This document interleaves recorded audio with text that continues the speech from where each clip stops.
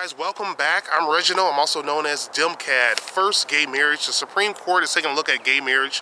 The Defense of Marriage Act, which was designed to prevent gay people from getting married.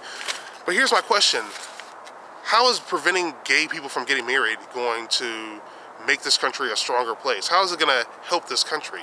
what, is, what does this have to do with the core problems in this country? You know, with the debt, the deficit, you know, the derivatives, the financial uh, corruption, it won't change anything. You know, targeting gay people, as long as they're two consenting adults, that I don't have anything against gay people wanting to get married. It just doesn't make any sense to prevent them from getting married. Uh, the Second Circuit Court in New York ruled that this was uh, the, the Defense of Marriage Act was an actual violation of constitutional rights, the Equal Protection Clause of the U.S. Constitution. So, uh, and you know, I agree with that as well. And also agree that you know, if you have pr private property rights you should be able to decide what you want to do with your property it's your property. You should, if you want to get married and share your resources with somebody, then that should be your choice. And I, I, I, don't see why government has to play a role in preventing a certain group of people uh, from getting married. It doesn't make any sense to me. Monsanto, now this is something that people need to pay more attention to. GMO, genetically modified foods, okay?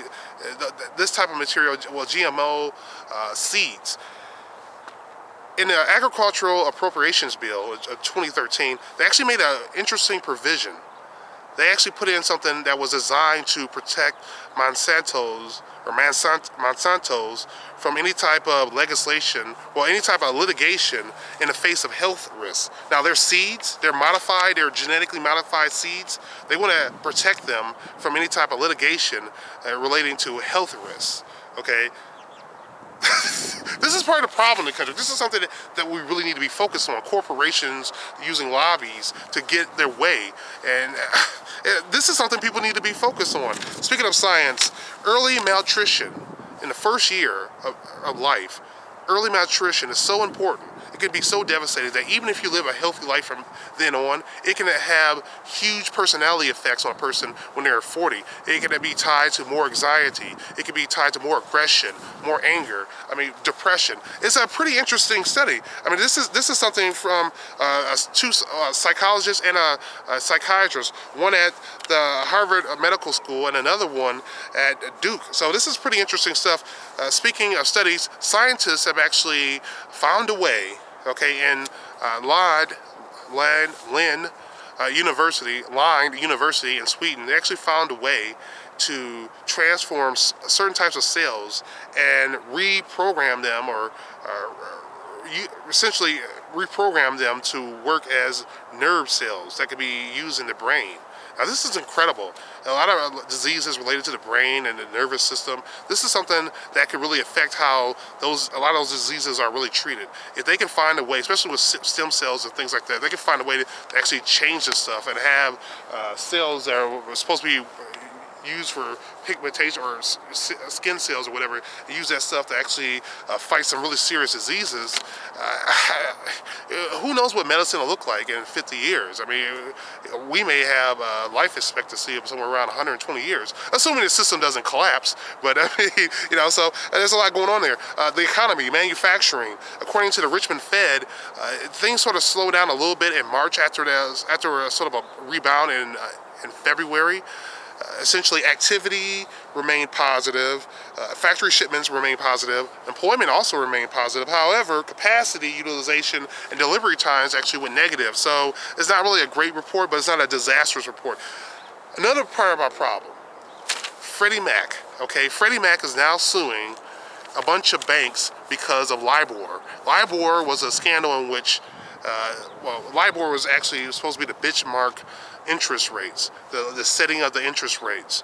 Well, a lot of these banks, according to uh, Freddie Mac, a lot of these banks cost them $3 billion because they artificially set the prices, they set the interest rates really low so that they, uh, so these banks wouldn't have to provide a certain amount of money to these, uh, to uh, Freddie Mac.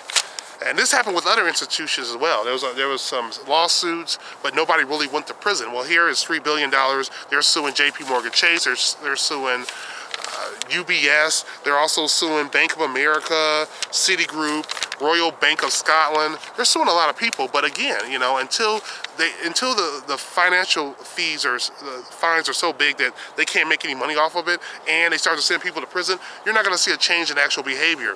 Okay, Walmart. Okay, speaking of behavior, they're they're uh, going through some problems because they have a lot of empty shelves. Well, part of the problem part of the problem is that they can't they're not hiring enough people to stock the shelves. They're, but they don't want to hire enough people to stock the shelves because you know that, you know, that they'll cost them more money. They'll cut into their profits. But of course, if they don't hire more people to stock their shelves, then people are simply going to skip going there. They're going to go to another store, like Target, for example, and that's going to actually uh, contribute to their financial problem.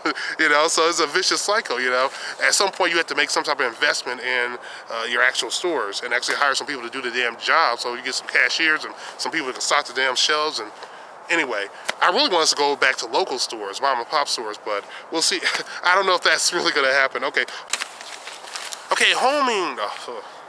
Okay, home prices. Home prices actually jumped in January, but new sales actually dropped uh, by 4.6% in February. So uh, a little mixed bag there with housing. Uh, Cyprus, that situation. Bottom line, if you if if people had over 100,000 euros in their account, then they then they're going to be risk they're, they're going to be at risk of losing some money.